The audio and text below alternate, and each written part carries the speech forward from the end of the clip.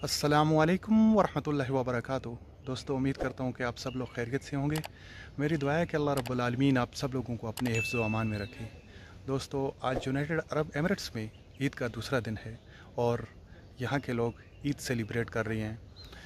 आपने United Arab Emirates में बड़े बड़े माल देखे होंगे बड़ी बड़ी बिल्डिंग्स देखी होंगी और सैरा और रेत के टीले देखे होंगे। लेकिन आज मैं आपको यहाँ पर दिखाता हूँ Al Ain oasis. Al Ain oasis ये अलैन के बिल्कुल मरकज़ में वाक़ है। ये खजूर का वो तारीख़ी बाग है, जिसे देखने के लिए यूनाइटेड अरब एमिरेट्स के तूल अर्ज़ से लोग यहाँ पर खींचे चले आते हैं। और इसकी एक बड़ी वजह यहाँ पर जो इरीगेशन का जो सिस्टम है, वो वही वही रवायती सिस्टम है जो पुराने वक्तों में इस्तेमाल होता था, जिसे देख कर लोग खूब इन्जॉय करते हैं। तो चलिए, हम भी देखते हैं। और इन्जॉय करते हैं। नाजरीन, ये सामने अलैन का मैन बाज़ार है और साथ में जो खाली जगह है, ये वो जगह है जहाँ पर फरवरी और मार्च में फ्लावर फेस्टिवल लगता है। गेट के साथ ये मैप है, अलैन ओइसिस का, और ये अलैन ओइसिस का मेन गेट है। तो अब हम अंदर जा रहे हैं और देखते हैं अलैन ओइसिस ये मजलस अलवाह है और ये वो जगह है जहाँ पर आप आराम भी कर सकते हैं और यहाँ पर आपको वेलकम ड्रिंक्स वगैरह भी मिल जाती हैं। और चूँकि ये ईद के दिन हैं तो यहाँ पर हम लोगों को इन्होंने कुछ मीठा खाने को दिया है, जिसमें सेवियाँ हैं और लड्डू वगैरह हैं। मजलस अलवाह में हमको खाने के लिए काफ़ी कुछ मिल गया है। ये ईद की वजह से था। वैसे भी अगर ईद के बगैर भी आप आते हैं तो यहाँ पर आपको खजूर वगैरह मिल जाती है और ड्रिंक्स वगैरह मिल जाती हैं। और ये सब कुछ फ्री ऑफ़ कॉस्ट है। और मैं आपको ये भी बता दूँ कि यहाँ पर एंट्री फ्री है। आप अगर कहीं से भी आते हैं तो आपको कोई टेंशन लेने की ज़रूरत नहीं है टिकट के लिए। ये सब कुछ फ्री है और आप अगर गाड़ी पार्क करेंगे तो उसकी पार्किंग भी आप बाहर फ्री है। नाजरीन, इस वक्त में खजूर के बाग के अंदर मौजूद हूँ।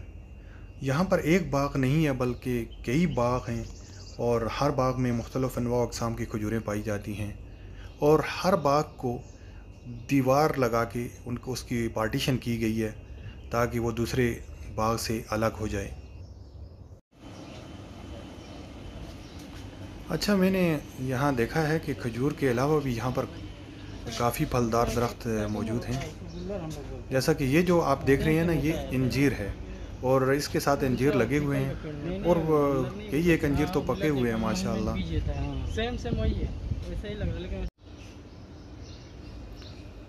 ये आम का दरख्त है और आम के साथ आम लगे हुए हैं।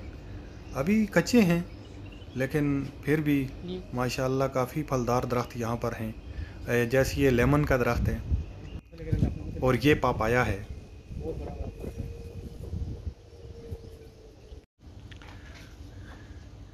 ये खजूर का बाग है जी। और इसके साथ ये पापाया का दरख्त है।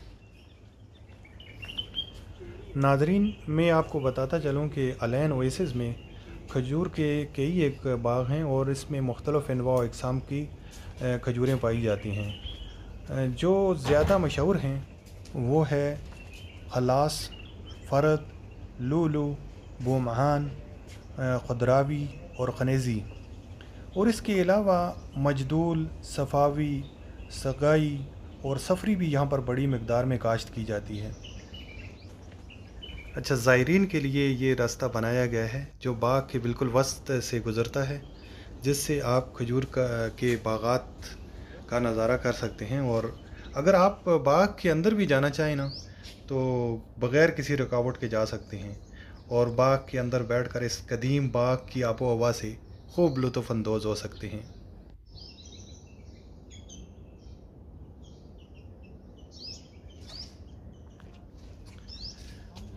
ये स्टूल जो बैठने के लिए बनाए गए हैं, ये खजूर के तने से बनाए गए हैं। ये दरख्त देखें। ये बहुत ही पुराना दरख्त है। ऐसा लगता है कि कई सदियाँ पुराना दरख्त है।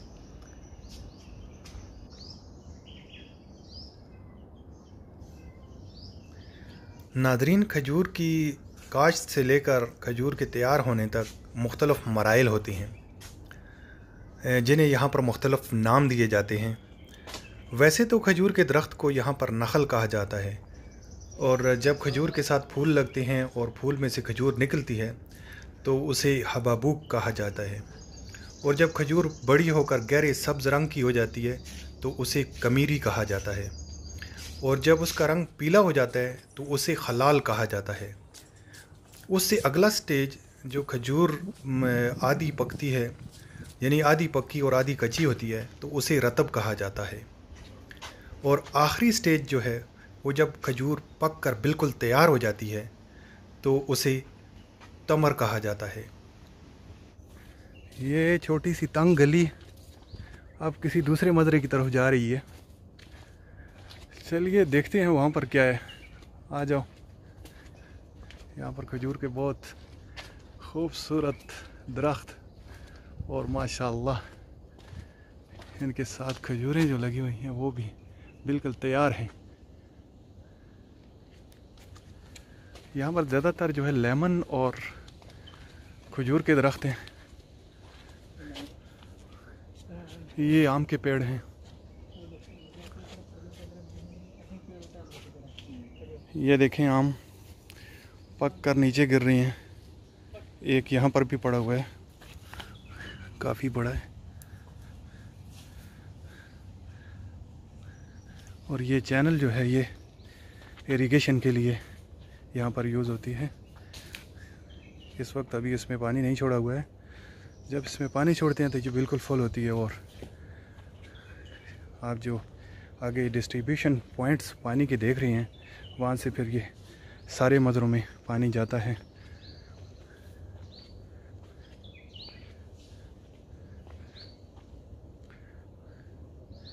अंदर पानी के टैंक्स भी रखे हुए हैं।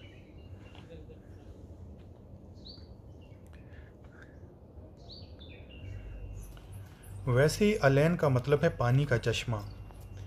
कहा जाता है कि यहाँ पर पानी का एक चश्मा हुआ करता था, और उसी की नस्बत से इस शहर का नाम अलैन पड़ गया। अलैन को मदीनातुल हदीका भी कहा जाता है, यानी गार्डन सिटी। यहाँ पर सदियों पुराने इस इरीगेशन सिस्टम के बारे में मालूम दर्ज हैं, और ये आप देखें, ये नहरें जो आपको नज़र आ रही हैं ना यहाँ पर इनको फ्लज कहा जाता है। और इन नहरों के ज़रिए ये पानी पूरी इस बाग में सर्कुलेट करता है और इन खजूर के दरख्तों को सैराब करता है। इस फ्लज में पानी बह रहा है और आपको बता दूँ कि ये किसी चश्मे का पानी नहीं है, बल्कि यहाँ पर पानी के लिए कई एक बोर किए गए हैं और ये पानी उन्हीं वाटर वेल्स से पंप किया जा रहा है। लेकिन ये मंज़र बहुत ही दिलकश है। और इसमें पाँव लटका कर बैठने का तो अपना ही एक मज़ा है। यहाँ पर केले के भी कई पेड़ हैं, लेकिन इसके साथ केले नहीं लगे हुए हैं, लेकिन दरख्त यहाँ पर काफ़ी हैं। ये देखें जी, आम का एक बहुत बड़ा पेड़ है, और इसके साथ आम, माशाल्लाह, थोड़े कच्चे हैं, पकने वाले हैं अभी तकरीबन।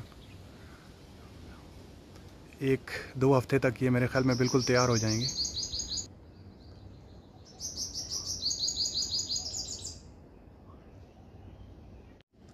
यहाँ पर अमरूद के दरख्त भी हैं और माशाल्लाह, आप देखें कैसे खूबसूरत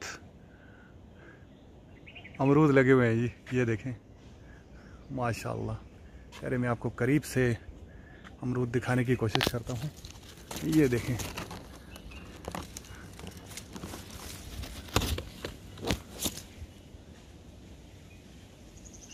ये ये तकरीबन तैयार होने वाला है और बाकी थोड़े अभी कच्चे हैं।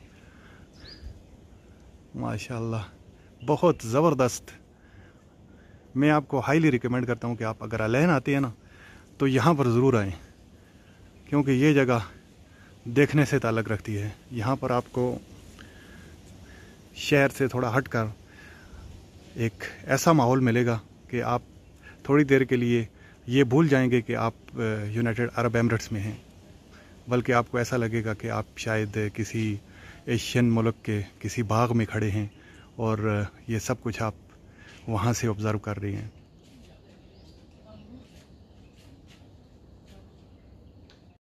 देखें जी, ये खजूर का दरख्त है, साथ में ये अमरूद है।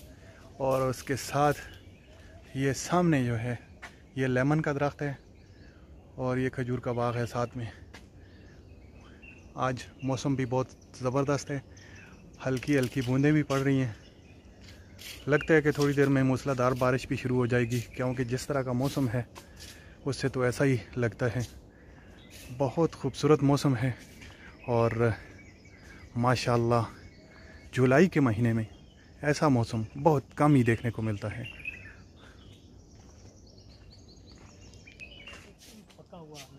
अच्छा ये आम का मज़े ही कुछ होगा जो कार्बाइड से लोग पकाते हैं वो सही नहीं होता है। नहीं ये तो पूरा नेचुरल तरीके से पका हुआ है ना? हाँ। बाग के बिल्कुल बीचों बीच ये एक कदीम और तारीख़ी मस्जिद है। इसे नमाज़ों के औकात में खोला जाता है। इस वक्त ये बंद है।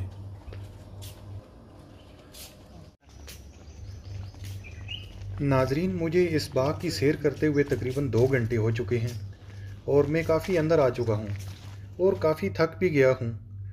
अगरचे के एंट्रेंस के साथ ही किराए पर साइकिलें भी दस्तियाब थीं, लेकिन मैंने पैदल चलने को तरजीह दी।